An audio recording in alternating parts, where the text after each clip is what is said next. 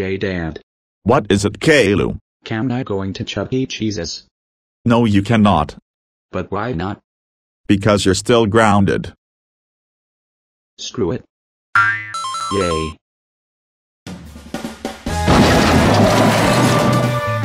Yay, I beat the game.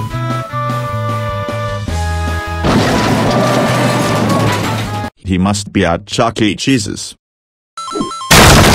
Oh crap. Let's go home now. You're grounded for life.